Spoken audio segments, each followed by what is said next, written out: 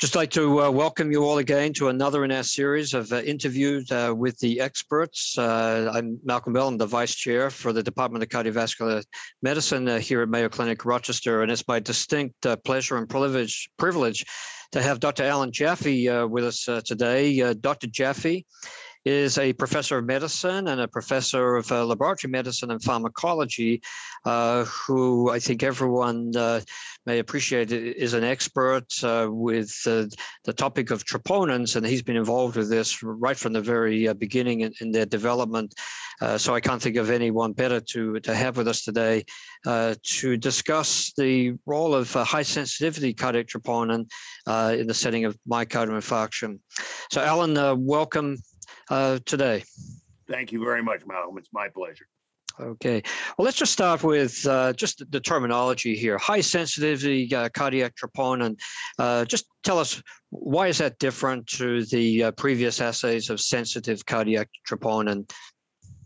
Well, they're they're in point of fact more sensitive. As a matter of fact, most of the prior assays didn't detect values in normals these high sensitivity assays, by definition, have to detect normal values uh, in at least 50% of men and women so that you can tell they're much more sensitive. Now, how mo- much more sensitive depends on the how sensitive the prior assay was, but they're much, they're substantially more sensitive. And indeed, as we've done that, we found that the normal values for people are really quite low. So we really do need these high sensitivity assays to detect most normal individuals and therefore the minor increases that can occur as well. And, and I guess it, we could assume then with much more precision. With much greater precision, their their criteria are that they have to have a good coefficient of variation. That is to say, not a lot of uh, imprecision at the 99th percentile value. Okay, so as as we think about uh, the use of uh, these assays in uh, myocardial infarction, um, what are the principles that are going to guide clinicians or should guide clinicians as they're thinking about uh, using this assay uh, in that setting? Well, there are two or three uh, important issues I think to take into account. Um, the first is that in assessing patients, you want to have a pretest probability what you think ischemic heart disease, what the likelihood of ischemic heart disease is. The vast majority of additional increases in troponin will not be in the ischemic heart disease patients. They'll be in patients who have other diseases, who are acutely ill and may have elevations or for other mechanisms. And that's terribly important in its own sense in the sense that we're learning that there are lots of things that can damage the heart. And in the long run, those things will need to be addressed, but they're a different topic for a different time. A second principle is that if you have an analytic problem where you don't, the values just don't fit your patient, with these highly sensitive assays, there are a fair number of analytic problems that can occur. I'm not going to go over the any of them in detail, but a good laboratory should be able to troubleshoot those if indeed you notify them and you say, this value doesn't make sense. It's either elevated when it shouldn't be, or it's normal when it shouldn't be. They can look at that. Finally, you've got to know your own assay. Different assays will have different problems. Troponin T detects far more people with elevations in the critically ill and in patients with renal failure, then there's cardiac troponin I, and they have different analytic problems with them that can come up between the, the two of them. For example, troponin T is lowered by hemolysis. Many of the troponin I assays, if you get a lot of hemolysis, might be increased. So you've got to figure out what your local assay is and how to use it optimally.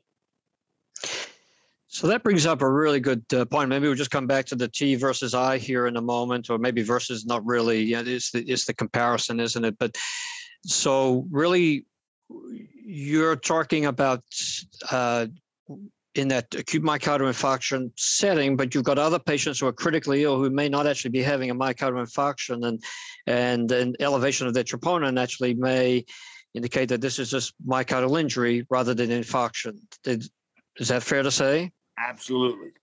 And that's where a lot of the confusion comes in, of course. Uh, you know, someone who comes in with pneumonia and, and then that troponin is elevated and and then the cardiology uh, team gets involved and there's a question about you know what to do with that patient that's obviously a you know a, a, very common you know scenario so just playing devil's advocate you know from from a cardiologist uh, standpoint is there uh, benefit or harm in using the troponin T assay versus troponin I? You know, would there be less confusion uh, among patients who are presenting uh, with without myocardial infarction and, and more an injury related to their concomitant disease? In the ischemic heart disease realm, the sensitivity and specificity of those assays is very similar. However, it is true that cardiac troponin T is more apt to be elevated in other causes over and above that of cardiac troponin I. That's well reported. Now, that doesn't mean one is better or one is not better. One could argue that that detecting myocardial injury is important whenever one detects it.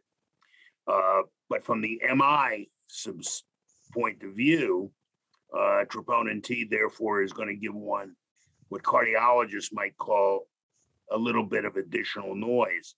I think the important concept, though, that has gotten lost is that you need to have a clinical situation where you really have ischemia. And what happens so often is we say, oh, well, this patient has tachycardia. That has to be supply demand imbalance. And ischemia isn't even present. So I think most of us would argue that what one, the clinical cardiologist needs to do is to insist on specificity of the increase for the ischemic heart disease patient. That's not something troponin can give you, whether it's I or T. It's something you have to get from your own clinical gestalt.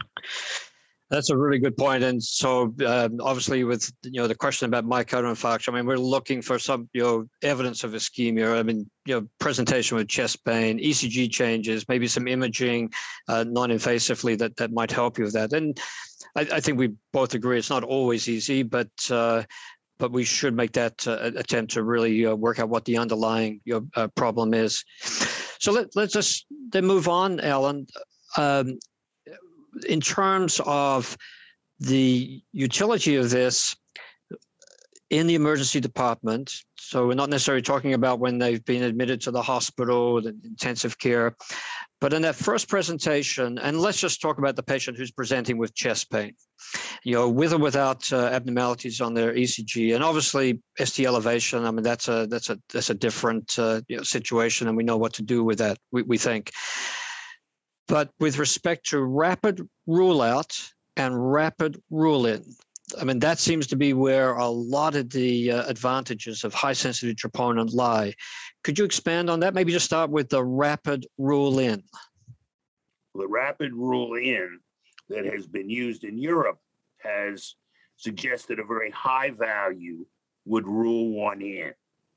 Now, if one is taking an all comers group, as we do in the United States, where a lot of the critically ill patients get troponins and because people are worried about type 2 type events, then those values need to go up very much higher. But if you take the classic person whose present presentation says, I'm just here because I need have chest pain, and that's the only evaluation that's necessary. A value of 53, which is for troponin T, what's been advocated by the European Society, gives you about an 80% rule-in rate a value of 100, which is what we use at the Mayo Clinic, to take into account the fact that there are so many other people who are not classic presenters who will have elevations, gives you a, a rule in rate for the classic presenter of over 90%. So a very high value in the classic situation can give you a diagnosis very quickly. And if that number were smaller, then uh, at what point are you going to measure another one to see whether or not there's a significant rise? So you you, you talked about a value of 100 or so, but let's say someone has a value of 20, for example, the troponin T. What do you do with that number? Well, Or that, that situation? That's that's an evaluation where the rule in metrics suggests that one should get a second value. We get it at two hours. Some the ESC algorithm suggests you can do it as early as an hour, but that gives you a very tiny, small difference. And if you look at these assays, some of them, in particularly at lower levels, aren't precise enough to do that. So we took the safer route which was to go with a two-hour protocol, which gives you a difference. And if you get a substantial difference, the difference we use is 10 to rule in, four to rule out. And there obviously then is a middle ground of about 10 to 15% of patients will give you that rule in. The one other caveat for that is you need to be somewhat later. If you've come in within 30 minutes, this may be a difficult triage to make. You need to come in within two or three hours as indicated in the ESC guidelines. Beyond that, you can start to rely both on single sample rule out and single sample rule in. Okay, so you're you're advising not to necessarily embrace that zero to one algorithm, but more the zero to two hour algorithm. And now let's just uh, and you brought up you know the rule out. So maybe just walk us through carefully there.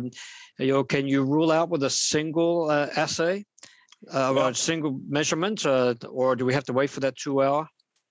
There are pretty good data from Europe that, that you can rule out with a single sample. One of the problems in the United States is that depending upon the assay, the FDA has restricted the use, the, the reporting of low values. So for troponin T, that value is five, and we're only allowed to report down to six. So the question then is the higher you get, the more problematic this becomes. So it's assay dependent, and we did not go with the single sample rule out because of that, because six has some confidence intervals around it because it's a lower value. So it could be eight or four. The data that is coming out suggests, however, that even then, this works pretty well. The caveat is that there are certain subsets of patients you need to be careful about, and they're no surprise. They're the elderly, and they're individuals who have known cardiovascular comorbidities, known coronary disease, or heart failure.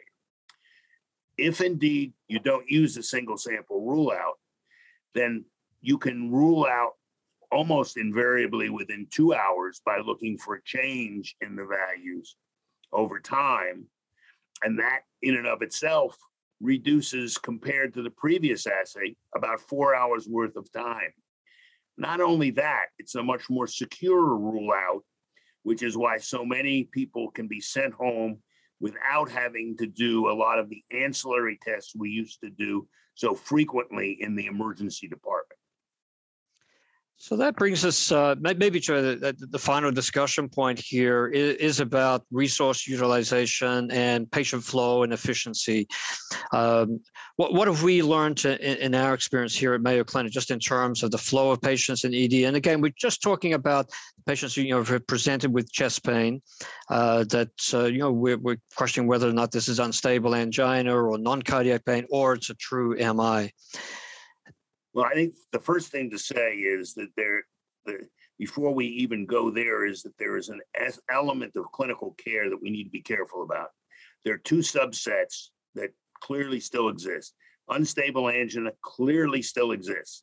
You, if you just use the troponin values and not look at the clinical presentation, you will miss some such people. And the second is that late presenters, because the downslope of the time concentration curve, and when I say late, maybe after 12 hours, is much slower. One might not see a rapid decline. So if one sees an elevation that is not declining in a patient with an appropriate history, be careful. What we've seen at Mayo is consistent with the rest of the literature in terms of resource utilization. More people are sent home securely without additional testing. Therefore, the frequency of stress testing, echocardiography, and the like has not gone up. even angiography has not gone up very much because most of the patients who would have had angiography were listed as unstable angina and have become now non-STEMIs because we've detected them to a much better extent. There's one caveat with that, which is that resource utilization ought to go up. Not in the ED, because these people are safe and they've ruled out, but in the outpatient setting, because individuals who have elevated troponins, even if they rule out, have some cardiovascular comorbidity. And it is incumbent upon us as cardiologists to look for that comorbidity with the hope that when we find one, we'll treat it. Hypertension, for example, a little bit of a troponin elevation is a, a very high risk circumstance that's worthy of evaluation even after discharge from the ED. Well, I think you're just. Uh, I think we'll end there. Uh, but Allan, I think that brings up a you know a really important uh, you know group of uh, patients that uh, we still struggle with, and and I think that's maybe a topic uh, for future discussion and, an important one. So I, I want to thank you for. Uh, uh, explaining you know how we utilize uh, you know this important test and also uh, thank you for uh, really I guess emphasizing the the pitfalls or the caveats there with uh, interpreting this uh, test result. So thank you so much uh, for your time today, and uh, look forward to another discussion about troponin in some other disease states.